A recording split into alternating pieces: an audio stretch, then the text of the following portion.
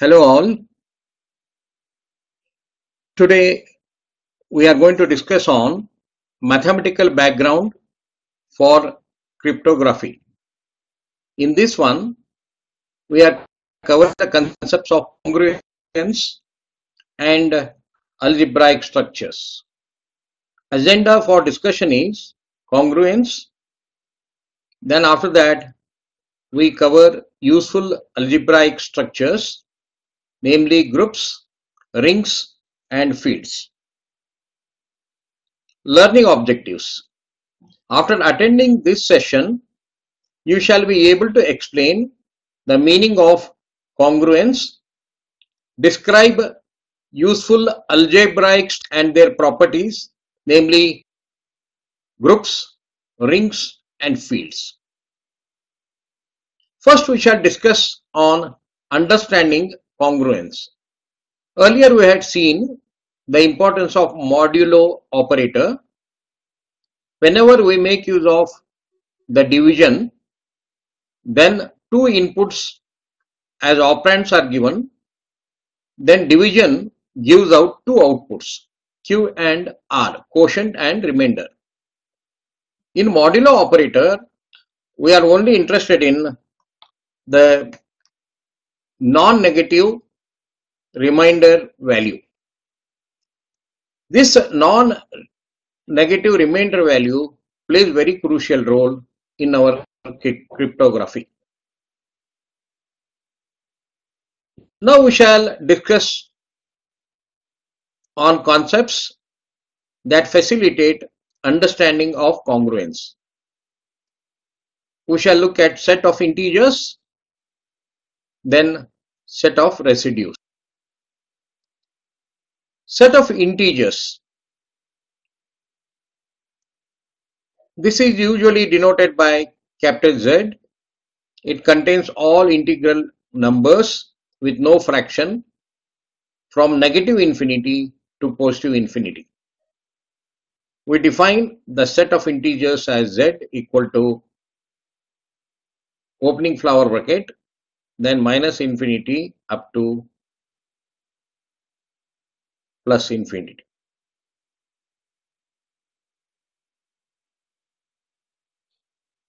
Now whenever we carry out division from the division we are going to establish a set of residues which is represented as Zn. The result of the modulo operator R, please you can notice here the symbol, we have got three lines here, not equal sign, which represents congruence operation. R equal to congruence of D mod n is always a non-negative integer between 0 and n minus 1 that is 0 up to n minus n, my n minus 1 value the r is going to have. r is a remainder. The modulo operation creates a set of least residues of modulo n or zn. This understanding of the concept Zn is very crucial. We shall go deeper into it now. However, we need to remember that although we have only one set of integers z, we have infinite instances of the set of residues, one for each value of n. What does it represent? So we shall just try to understand what we had just mentioned. Set of residues and instances of set of residues. That is what we shall understand. we have only one set of integers z, we have infinite instances of the set of residues Zn, one for each value of n. Example, following figure shows the set Zn based on what value we give to n, we are going to create the set Zn. Now, if n value is 3, then all the values between 0 and 3 will be listed out under Z3. If you look at it here, Z3 is going to have 0, 1 and 2. For Z5, we are having set of residue values as 0, 1, 2, 3, 4. Similarly, Z7 is having 0, 1, 2, 3, 4, 5, 6. Z9 is having 0, 1, 2, 3, 4, 5, 6, 7, 8. In cryptography, we often use the concept of congruence instead of equality mapping from set of integers z to set of residues is not one to one but it is infinite numbers of z can map to one member of zn example the result of 2 mod 10 is equal to 2. 12 mod 10 is 2. 22 mod 10 is 2.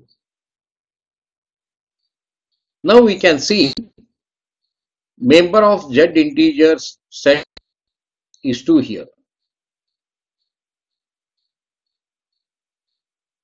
And for getting this particular residue, we carry out mod operation on three values that is 2 then 12 and 22 which are members of z or set of integers so all these 2 12 10 when we perform the activities of mod 10 belong residue means 2 mod 10 also resulted in residue 12 mod 10 also resulted in residue 2 22 mod 10 also the actually resulted in residue 2 means many values of z which is the set of integers mapped to one value of zn that is set of residues that is 2 12 10 are mapped to 2 of Zn here. We call 2, 12, 10 as congruent of module 10 means they are producing and map to the same value of residue.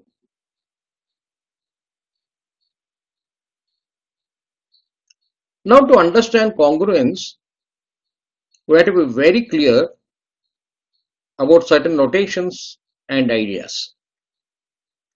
First important and foremost thing is that we have to difference, we have to understand the difference between equal to and congruence operators.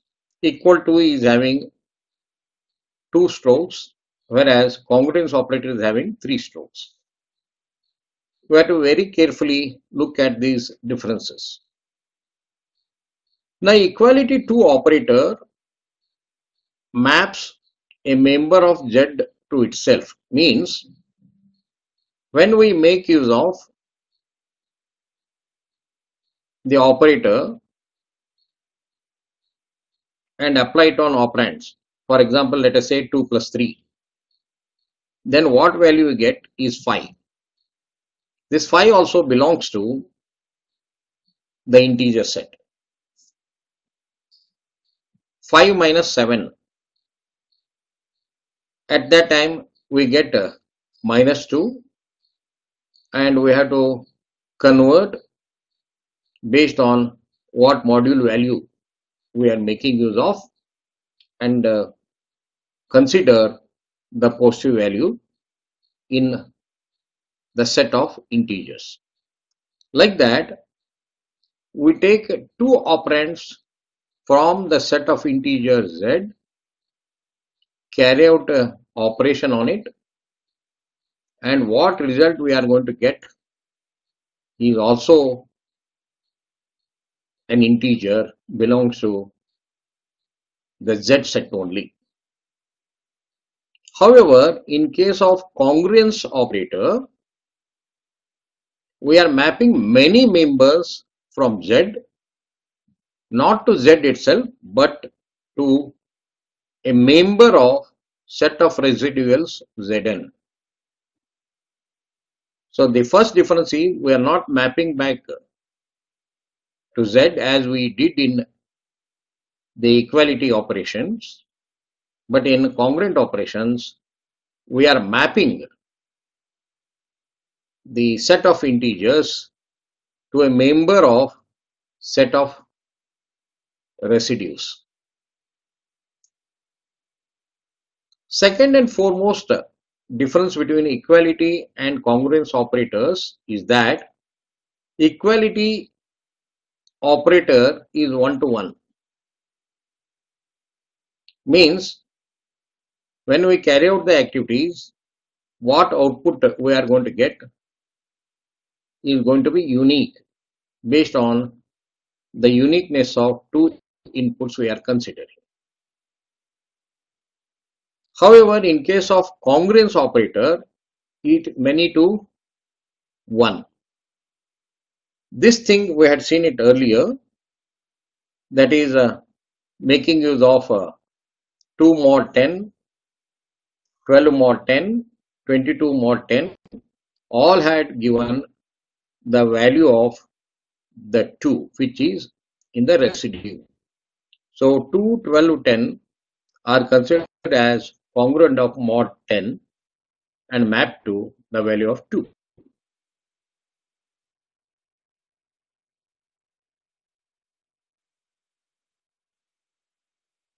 Next thing we have to is meaning of mod n whenever we are seeing a mod n in congruent operation to the right side of the congruent operator,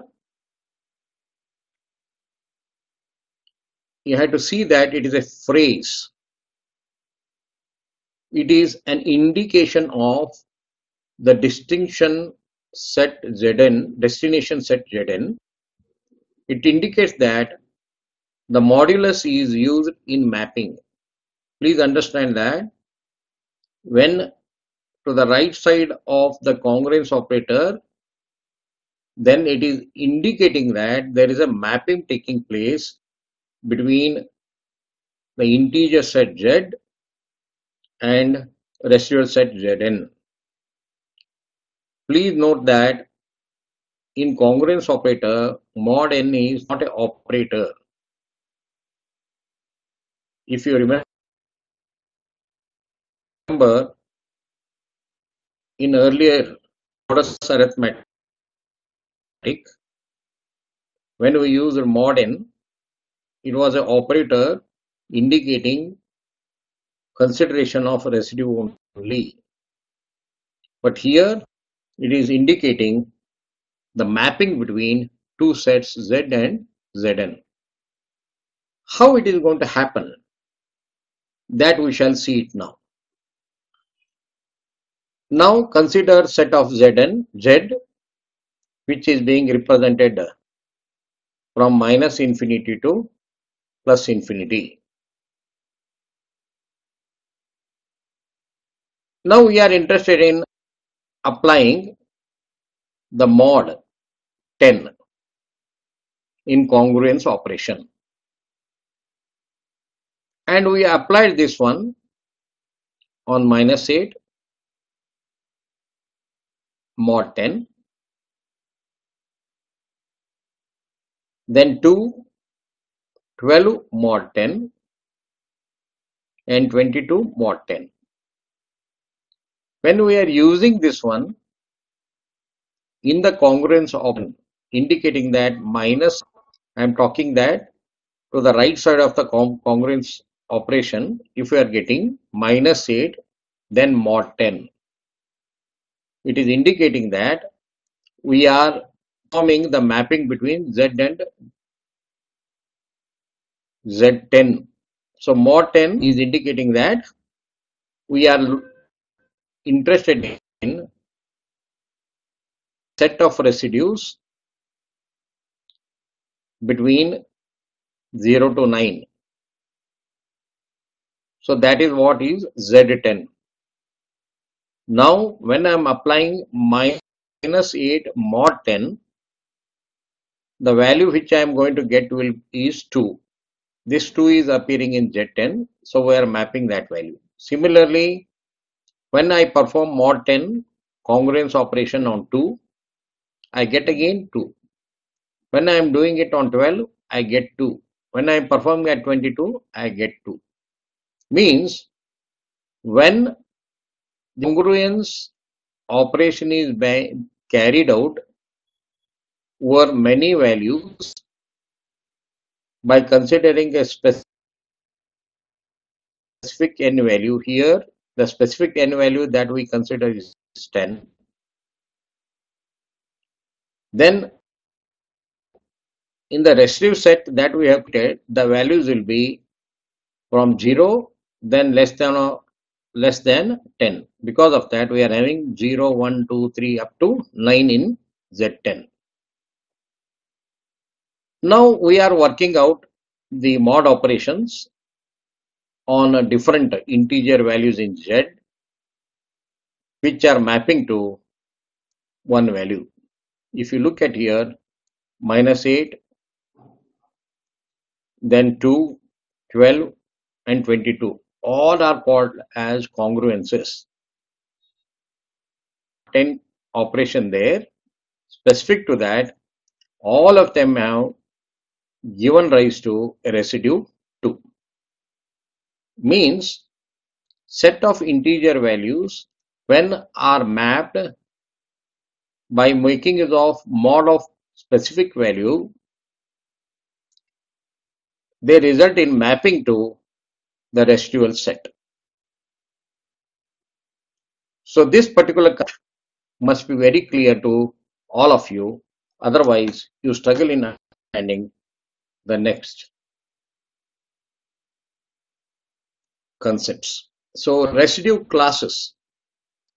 A residue class represented within square bracket or square bracket an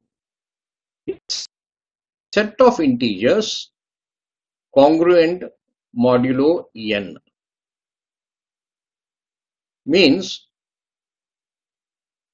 we take a specific uh, number on that when we carry out a modulo n operator. When we carry out this, then we will get a, a specific value. For example, if you look at here, it is the set of all integers such that x is congruent of a mod n mod n is representing congruence option here. Now, based on what is the value of n, we are going to get a number of residual classes here. Now, if we consider the value of n as 5, then in the residual set, we are going to have the values from 0 to 4. So there is one class 0, another class 1, and another class 2, 3. Now we are interested in picking up the values from the integer set z which is giving rise to the value of 0. Now we go on looking at the values. For example, when I pick up minus 15 and apply the mod 5 on it, then I am going to get residue 0. Please remember, we are only interested in residues, not the quotient side. Similarly, minus 10, on that one, when I apply 5, once again I get 0 as a residue. Minus 5, 0. Then 0 mod 5 is 0. 5 mod 5 is also resulting in 0 residue. So like that, the residue class A, in this case residue class 0 is having the values which are giving rise to residue 0 when divided by 5 here. So the set is consisting of all those values. Similarly, the class 1 represented within the square bracket as 1 is considering all the values from the set of integers z which are actually giving rise to residue 1.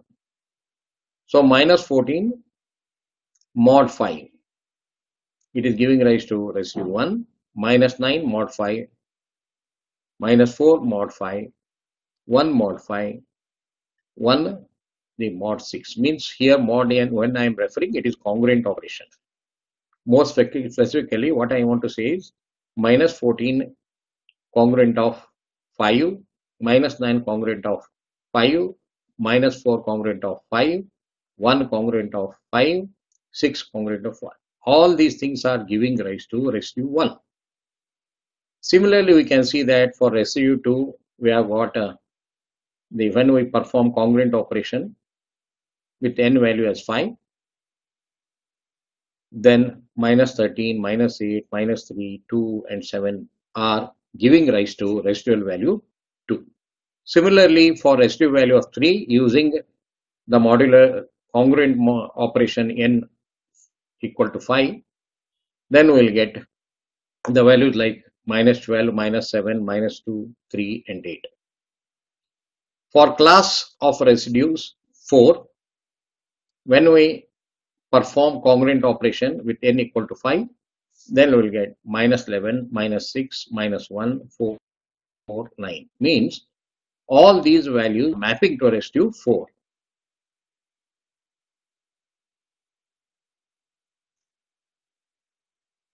now we shall look at it how circular notation can be used to represent trends all congruent integers modulo n occupy the same point on the circle.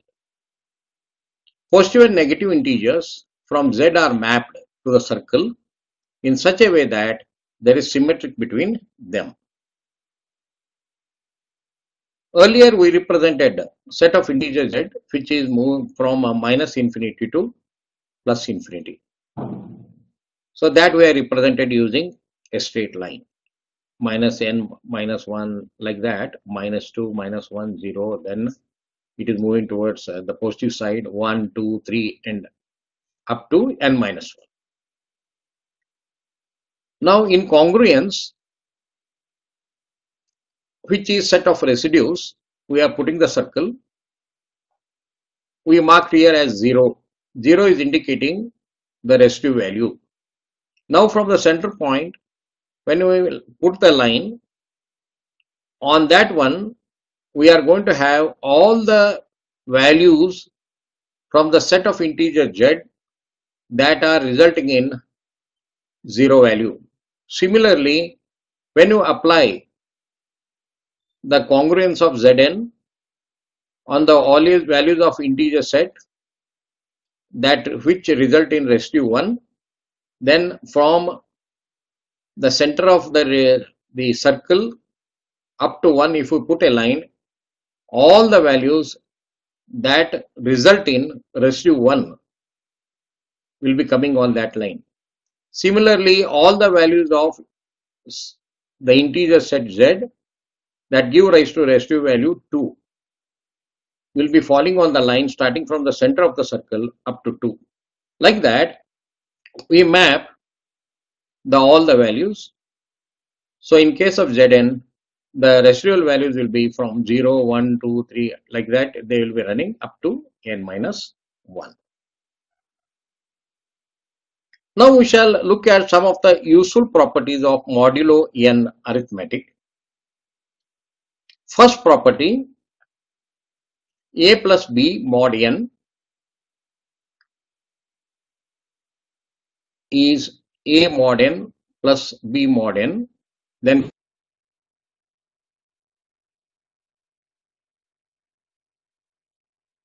congruent operation mod n.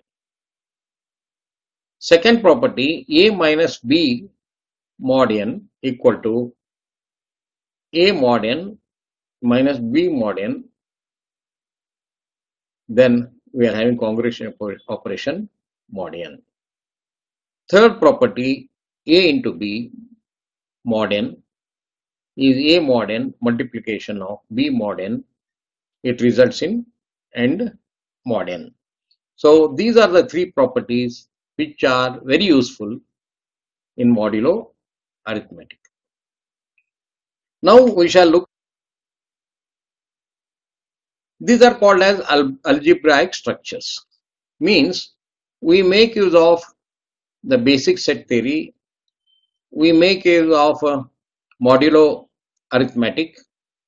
We make use of congruence and using those basic concepts, we try to build higher algebraic structures. Because cryptography requires sets of integers and specific operations that are defined on those sets. The combination of the set and the operations that are applied to the elements of the set of numbers is called an algebraic structure. Means algebraic structure is a combination of set and the operations that are applied to the elements of the set of those numbers in that set. There are three common algebraic structures groups, rings, and fields.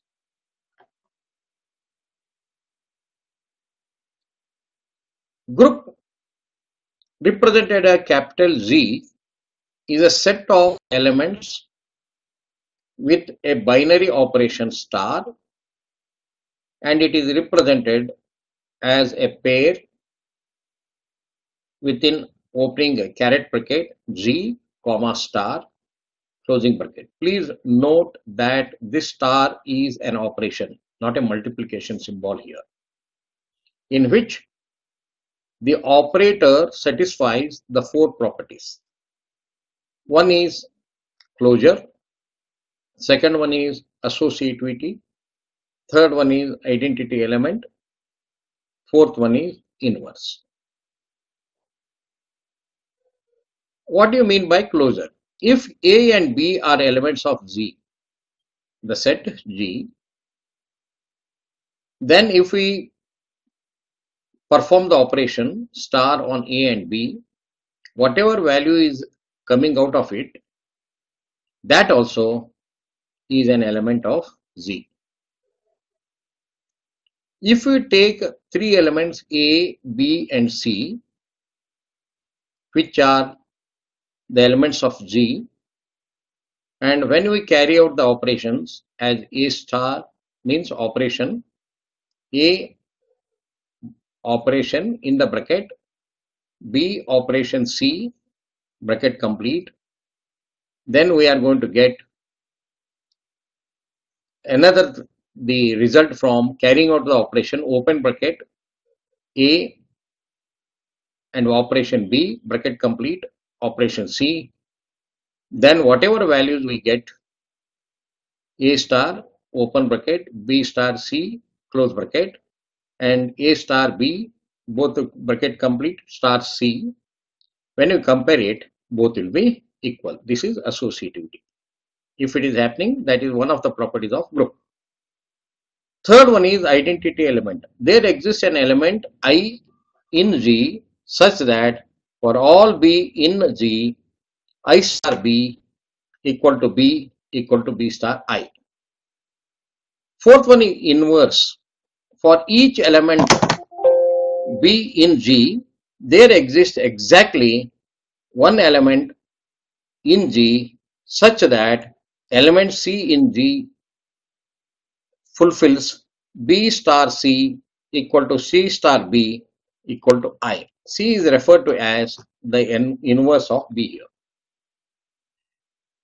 So in the set G, when we carry out the operation star on the elements of G, if it is fulfilling closure property, associative property, identity element and inverse property, then that particular set is referred to as a group. Along with these four properties, if commutative property, which is indicating that for all A and B in G, if A star B equal to B star A, then we say that commutative property is fulfilled. If along with closure, associativity, identity element, inverse, if we see that commutative property is also being fulfilled, then we call that commutative group as commutative group. So to say a particular group and to say if it, what is the category of it, these properties play very crucial role. In case of ring, a ring is an algebraic structure with the two operations represented as open caret r comma star comma plus. If we want to qualify that particular set R is a ring, then first operation star and second operation plus shall operate as follows.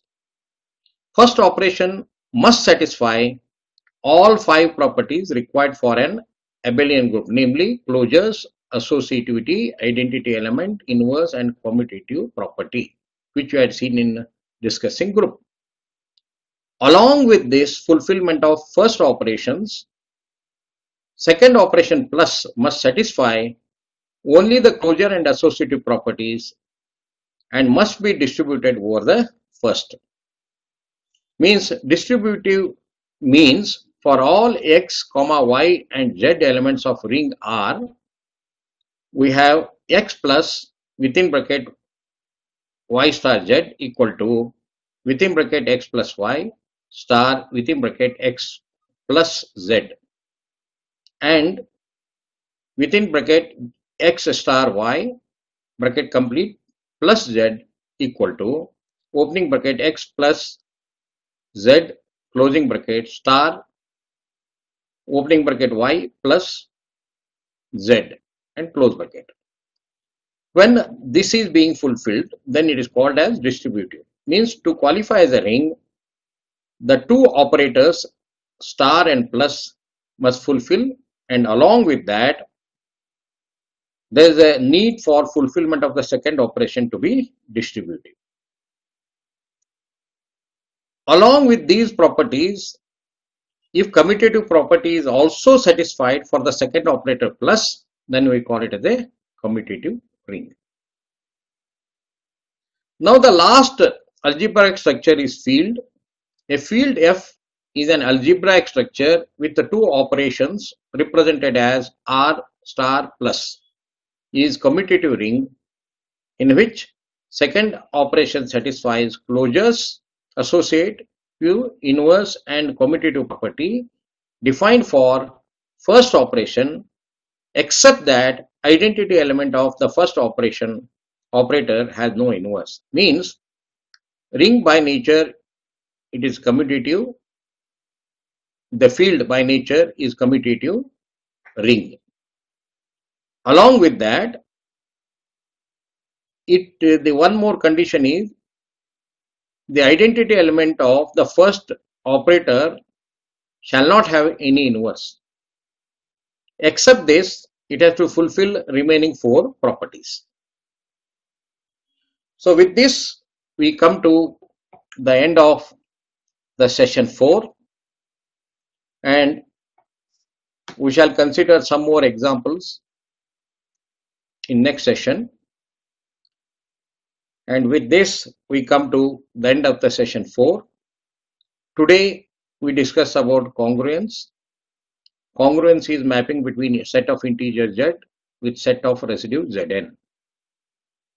It is representing equality, but uh, in case of modulo arithmetic, we refer to as congruence. And we had seen that how we can represent congruence in a circular form. After that, we discuss on algebraic structures and group, field and ring concepts we had considered during the discussion. With this, we come to the end of the session.